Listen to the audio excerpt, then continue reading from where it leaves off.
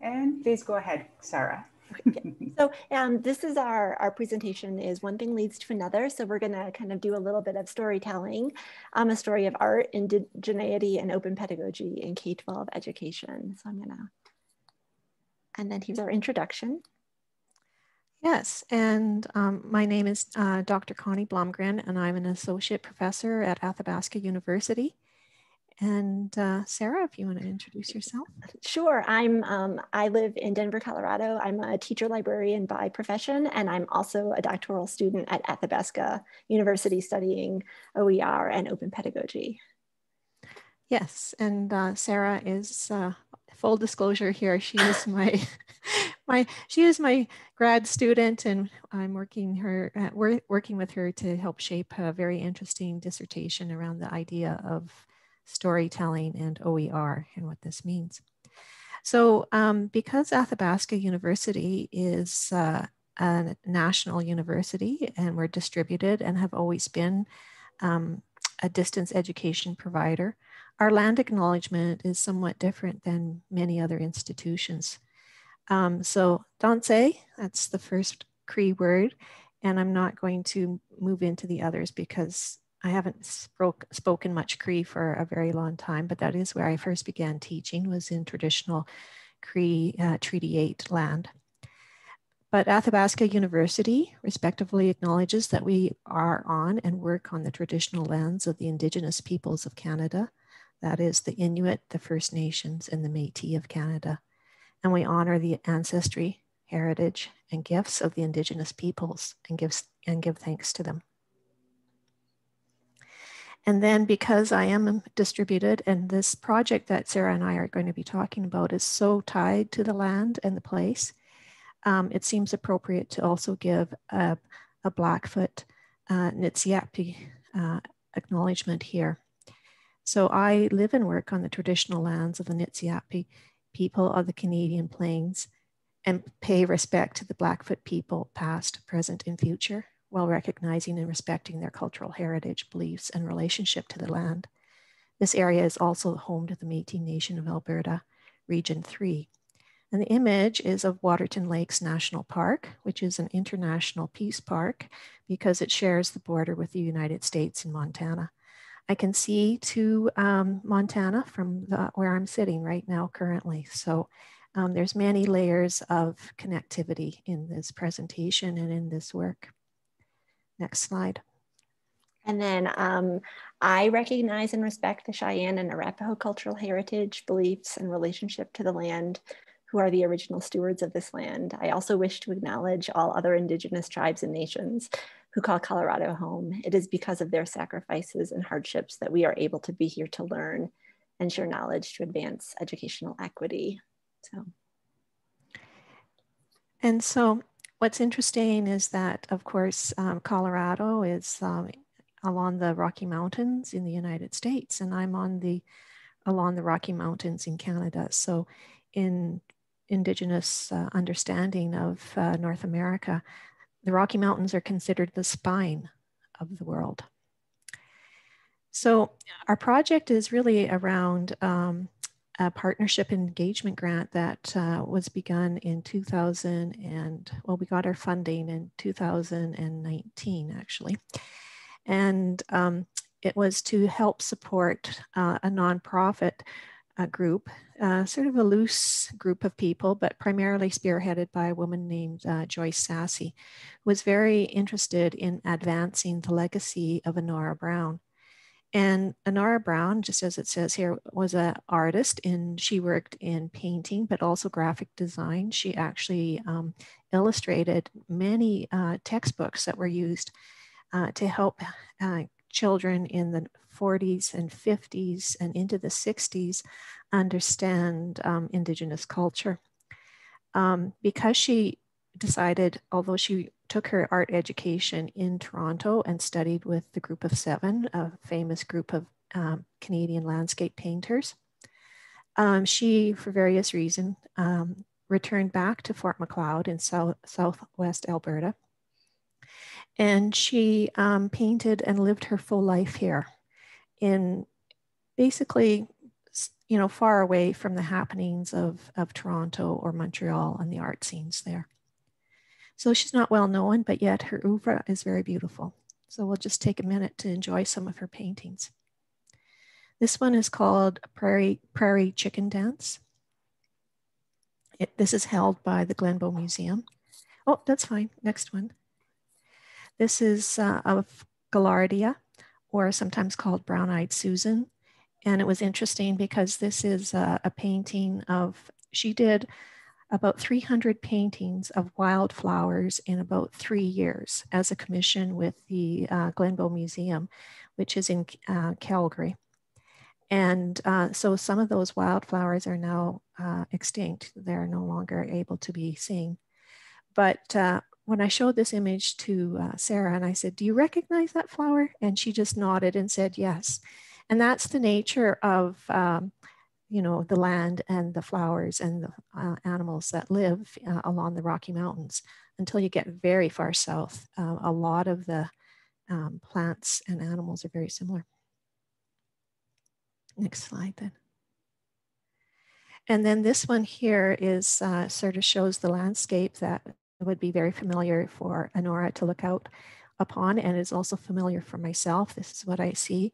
I'm where we're, I'm where the plains meet uh, or the prairies meet the mountains in the foothills.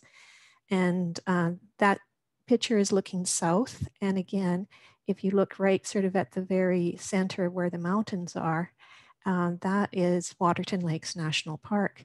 And this is an area that um, Annora spent a lot of time painting and exploring and just enjoying. And as I mentioned, it's an International Peace Park um, where there's a shared international boundary and national parks, um, Glacier National Park in the United States. So this extension of friendship. Next slide. Now, in, in addition to being um, a painter, she was also a very interesting woman. And uh, if you can imagine, in the 30s and in the 40s, she collected up all these uh, different stories um, from different sources. So, um, from uh, when they had the Palliser expedition, uh, they would uh, the British brought uh, botanists who would document the land and uh, the plants and she accessed that material and created what was called Old Man's Garden. And it has been just reissued in this year, 2020. And it's a beautiful collection of, quote, gossip about wildflowers. Next slide. So the project um, we started in 2019 we had um, a free PD workshop and we started trying to develop awareness of uh, this entire um, collection and the legacy of not just the artwork, but all the uh, graphic illustration that um, Annora did, and then also how she was very much what I would call a strong woman. She never married, and uh, yet she was very much dedicated to her parents. She took care of them. So, uh, in that carekeeping carekeeping capacity, understood many aspects of family life. And um, so we had bookmarks and library kits trying to develop some awareness and interest in developing OER and a professional learning network around Annora and her legacy. So of course, this uh, dives into um, OER and OEP, Open Educational Practices, and this is uh, Hegarty's eight attributes of open pedagogy. I encourage you to take a deeper look into that. It's a great resource and it helps explain so much of all the moving parts of this project. Sarah?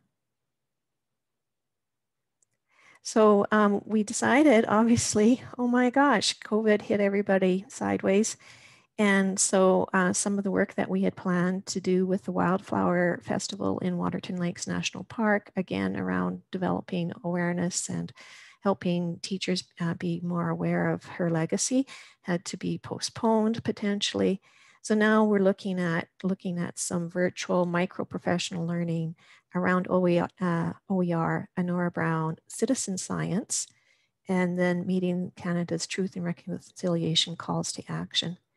So sometimes um, a pause or a delay or an interruption can actually be a good thing because when I talk about citizen science, there, there's been a very nice um, app that's been developed by the Native Plant Council of Alberta and the biodiversity, I forget the full um, name. Anyways, it's to help document plants and animal sightings here in Alberta. So a very nice open uh, science, citizen science data um, activity that has just sort of started. So, you know, the timing now sort of fits up with them. So that can be very exciting for us. Uh, next. And um, one thing, just before we jump into Sarah, she's going no, it's fine. You can just say, keep it there, Sarah.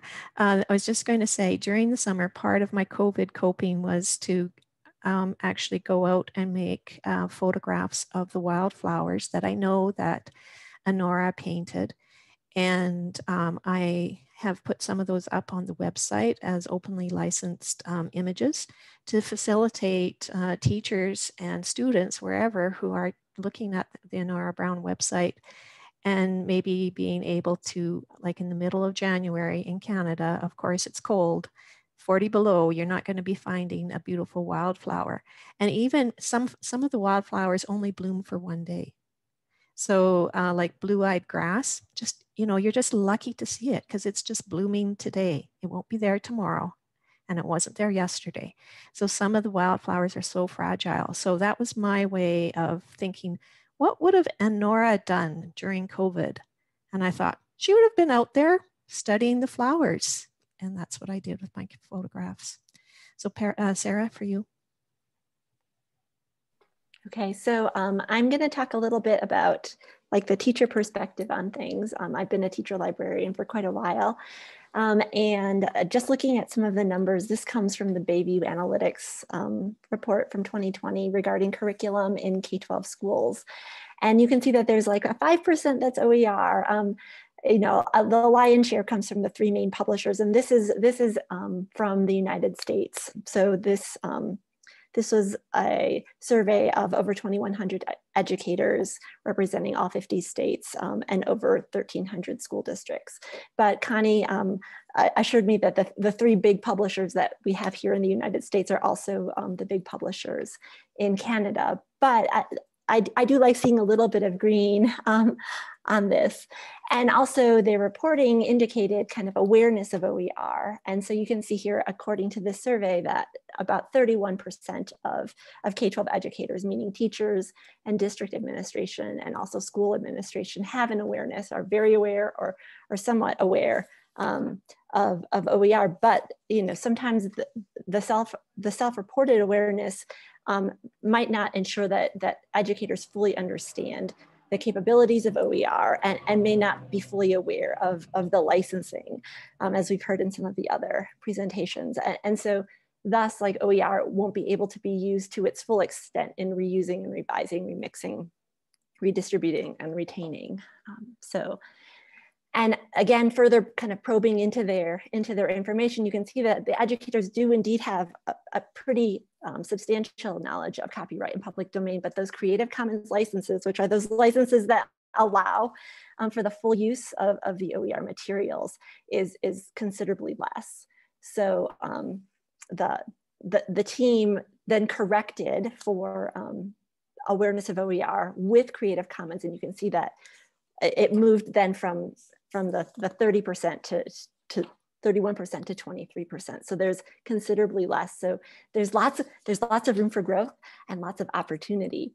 Um, and so kind of, you know, the question that I have in being an educator, a librarian, and someone who is super interested in OER um, and, and really interested in open educational practices, um, things that were supported by this Annora Brown project, um, it, it, it helps me think that like probably something that would be super important for this would be professional learning for K-12 educators at all levels, right? So for teachers, for district staff, and for, and for the building administrators, so that knowledge of OER can expand and also kind of like how OER can be used to foster a more open pedagogy um, for all of the students.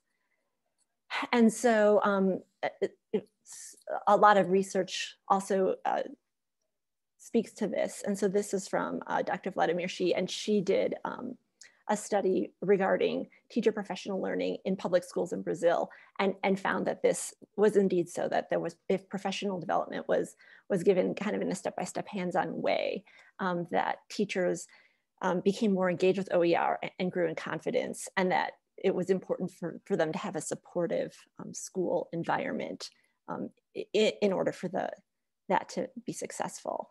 And then also um, just kind of thinking of important professional development components for K-12 educators.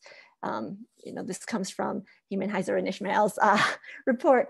And, and just kind of thinking about like, what are the things that need to happen in order to support K-12 educators to, to grow in their OER skills is, you know, having, having it being something experiential and project and problem-based. Um, guidance for, for establishing PLNs and, and also especially in digital environments. And then um, thinking about the learning objectives around basics of OER and open licensing and kind of moving from the textbook idea into open pedagogy and, and defining quality. And so these are all kind of themes that like connect then back to the story of, um, of the Annora Brown project. And so I'll turn this over to Connie. Thanks, Sarah. Uh, so yeah, what does effective professional learning look like during COVID-19? I think it has to be free, flexible and it has to be free, guided yet par participatory and supportive PLNs, um, responsive to the emerging needs. So again, some flexibility there, creative and generative topics. So I think this is, you know, we all know that everyone is feeling stressed in so many ways. And this, as I said, you know, when I decided, mm, and I took my daughter, who was, uh, you know, came home from university, kind of feeling quite blue about everything in April. And uh, the two of us, we went out and we made these photographs. And I just said, you know, we've we've just got to keep moving on. And of course, the flowers are beautiful. They're generative, and most everybody who ever sees uh, the work of Annora Brown, they just go, "Wow, this is so much." Uh, so uh, online resources for educators, CC Learning. Um, both Sarah and I took the Creative Commons certificate course over the summer as part of the project. That's increased our confidence and our knowledge about um, how to um, navigate uh, some of the challenges working with a project like this because these images are actually many, not the images, but the original paintings are either held in private collections or in uh, the Glenbow collection. And it was through the work of Joyce Sasse, the woman who created so much interest in Annora Brown and the website, and who has just been this total fangirl. This is what happens when you start in on Annora Brown, you become a fangirl. So Sarah's a fangirl now, and so am I. And Joyce was probably the head fangirl. But, you know, um, Joyce actually um, worked with the Glenbow Museum to digitize the entire Annora Brown collection. And so you can go and purchase a digital file from them. But even in creating this presentation, if you go to the one that we have shared in the Google Docs, uh, it, you will find that there will only be a link to those images, the uh, beautiful paintings that we saw, we can share as an educational aspect but uh, the permissions are are not that we can just you know allow you to access those uh, those files that we have permission to use because it's educational. So there's this dancing and dodging, and then of course this idea of non-derivative. Um, so there's lots of um, as I say, creative problem solving that we've been doing as we go through for many reasons. So um, uh, thank you all. I've uh, enjoyed presenting. Sarah, any closing thoughts? I don't think so, but I mean, just kind of like how our our title is one thing leads to another in in discussing this project and in creating this presentation and in all of our conversations. Like it, it's amazing how all of the little stories, like one one thing does lead to another, which is right. beautiful and organic. Right. And uh, lady, and another comment I wanted to say, one other thread that I'll just mention is that we had um, a Blackfoot elder, Shirley Crow uh, who um, she was there and provided a, opening prayer for our, our original uh, September PD day. And um, she's another fangirl of Annora Brown, and she has also agreed to participate in providing the Indigenous Blackfoot name for the flowers that we're putting up on the Annora Brown website. And if she has additional uh, knowledge that she wants to share, um, she will be providing that as well. So, I mean, there's all these layers and timing. I, it's always fascinating to me how the pieces come together, the timing, and just how, like when I say about the citizen science and the, uh, the app that was developed. And it was exciting to hear this young, you know, 30, 30 year old fellow, I guess. I, I shouldn't really call him young, but whatever. He looked young to me on the Zoom call. And, anyways, he was just excited about citizen science and excited about the potential of this app to have people tag identification of flowers um, and um, biodiversity of, um, you know, the, the animals in Alberta. And a year ago, that wasn't in play yet. So it's just been recently um, released. And so there's all these as we say, one thing leads to another, lots of interesting connections. Thank you. Thank you. Thank you. What a beautiful presentation. Everything that I love bundled in the little package and with an open bow, even an open bow on top of it. The paintings were beautiful, uh, the wildflowers, the photos, everything about it. I just love it. Thank you. Thank you so much for sharing. And, um, and unfortunately, we don't have time for questions, but we do have a space for the communication to continue.